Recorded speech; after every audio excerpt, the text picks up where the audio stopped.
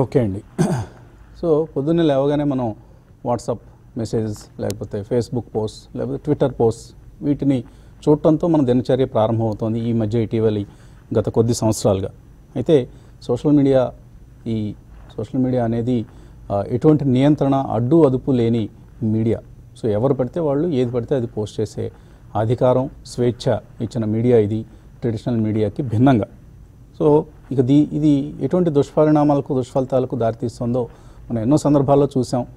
ఎవరిని విడిచిపెట్టలేదు వీళ్ళు బతుకున్న వాళ్ళతో పాటు. కీర్తిశేషులను కూడా ఏమాత్రం విడిచిపెట్టలేదు. కీర్తిశేషులు స్వర్గీయ పుణ్యలోకాలకు వెళ్ళిన అమర గాయకులు అజరామర గాయకులు మొహమ్మద్ రఫీ గారి డాటర్కి సంబంధించి నేను వన్ ఆఫ్ ది నేను ఒక మా ఎంబీఏ గ్రూప్లో ఒక ఫ్రెండ్ పోస్ట్ చేయడం జరిగింది.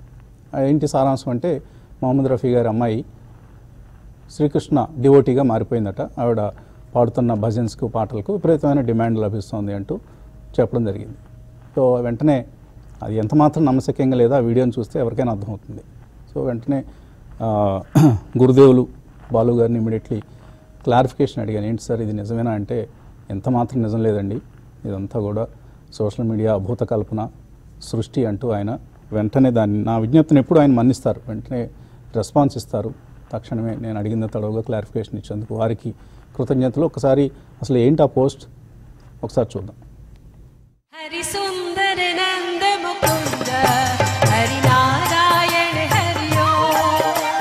ఈ అమ్మాయికి రఫీ గారి పిల్లలకి సంబంధమే లేదు.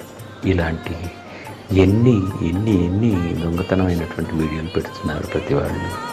మధ్యలో ఉన్న వాళ్ళిద్దరూ రఫీ గారి అమ్మాయిలు. అవతలున్న అతను చిన్న ఆవిడ కొడుకు.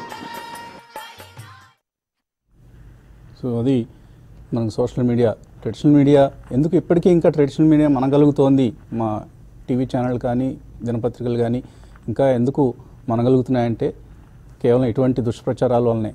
సో క్రెడిబుల్ మీడియా అనగానే మనం ఇట్లాంటివి ఏదో పోస్ట్ కనిపించినప్పుడు మొన్న జానకమ్మ గారిని చంపేశారు ఒక మీడియాలో. మన అపూర్వ గాయని చక్కటి మధుర గాయని వారిని కూడా కీర్తివేషణలు చేసేసారు ఆవిడ బ్రతకుండగానే.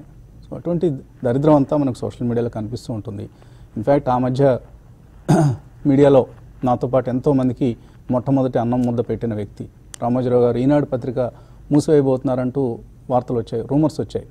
సో అదే కనుక జరిగితే ఇక అంతకంటే దౌర్భాగ్యం మరొకట్లేదు. తెలుగు భాషని బ్రతికిస్తున్న దినపత్రికలు అందులో అగ్రశ్రేణిలో ఉండే దినపత్రిక ఈనాడు ఆయన రామోజీరావు గారు తెలుగు భాష కోసం ఎటువంటి సేవలు చేస్తున్నారనేది అందరికీ తెలిసిన అంశం. సో ఇవన్నీ ఇటువంటి మీడియా సంస్థలు పది కాలాల పాటు బ్రతికేలా ఉండడం చూడటం మన బాధ్యత. So let us all buy newspapers watch TV channels మీకు ఇష్టం వచ్చిన ఛానల్ మీ భావజాలానికి అనుగుణంగా ఉండే న్యూస్ ఛానల్ ఎంటర్టైన్మెంట్ ఛానల్స్లో అయితే ఆ గొడవే లేదు. అన్ని ఛానల్స్ మనకు వినోదాన్ని పంచుతూ ఉంటాయి. కాబట్టి వీటిని అన్నింటినీ బ్రతికించుకోవాల్సిన బాధ్యత మన మీద ఉంది. And uh, let long live media. చిన్న విరామం విరామం తర్వాత బాలగారు